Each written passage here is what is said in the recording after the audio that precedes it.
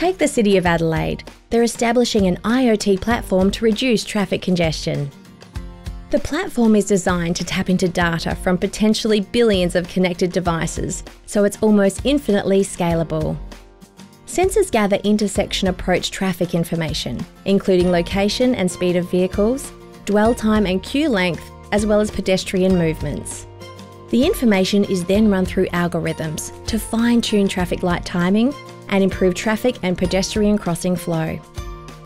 While that meets today's needs, it is also being assessed to determine if in future it can also manage the location and movement of autonomous vehicles, paving the way for their introduction and a longer term strategy for reducing traffic congestion.